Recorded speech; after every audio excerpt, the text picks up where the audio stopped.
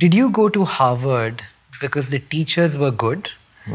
And after you went to Harvard, did you learn more from your teachers or your classmates? So Harvard is actually a Harvard Business School is a very interesting kind of education model because it is a combination of teacher to, to student and peer to peer because every class is almost like a conductor with an to an orchestra where the conductor is only kind of which is the professor he gives you a case. Everybody has to read it before the class. You assume everybody's read it. It's usually a very interesting case on a topic based on what the class is and they have you know millions of cases. And then the professor has a roadmap of what he or she wants to get out of that discussion, but he pushes different members of the class. And because it's a very diverse class, like for example, on a case where you're talking about Disney, the media company, there was a girl who was a child actress who became a very successful child actress and then a media executive, and then came to Harvard Business School and had an interesting perspective to share with the rest of the class. And likewise, on other topics. That's to me, I learned a lot more. What from my was most course. valuable? Was it the network, the classmates, and what you learned off them, or was it the teaching staff? No, and- but like for him, it would be different than for what it would be for a normal person.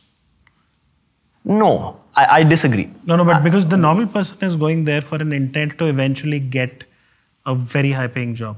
in Harvard, I don't think. I don't think so. No. so. I don't think so. No, that wouldn't think so. necessarily be the case. I think that. Uh, That's normally a given by the yeah, time I you're doing think that for most people, they already have some form of reasonable paying job before they come for an MBA because in the US, unlike in India, you don't do an MBA right after your undergrad. It's usually anywhere from three to six years of work experience. And because the school is so selective, these folks tend to have gone to IITs or, you know, very good schools to Then, begin then with. what's the intent? So the intent is to go to up level yourself into being a business leader and to being uh, a more well-rounded uh, professional and person. But so what I had heard, and Hmm. maybe you can correct me if I'm wrong, uh, the most sought after jobs after H, after somebody completes HBS Hmm. are private equity firms, hedge funds, uh, venture capital That's firms. changing You're very 10 years quickly. behind. Yeah, you're 10 and years You're behind. the youngest of the lot, but you're Yeah, 10 years behind. You're 10 years time. behind. I would say I graduated six years ago and it had already started to change. So what is it?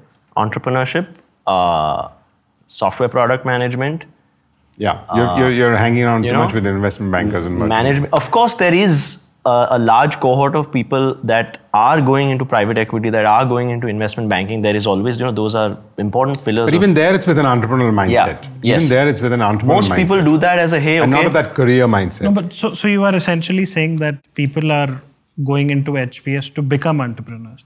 But if you see the people who are like, I don't think we should single it out in an I- HBS I, think manner. It's all of these kind of uh, no, but Ronnie, MBAs. like you and Nikhil mentioned, I mean, you became entrepreneurs because of who you were and not because of the education you got. No, no, No, no, not, not at at all. all. It Not was the all. same human emotions: greed, Yeah.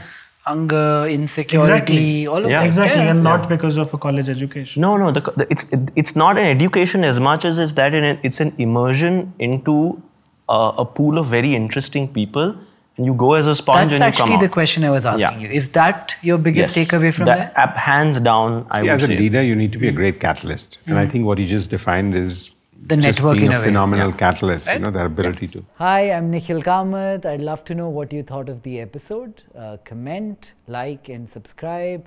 And thank you for watching.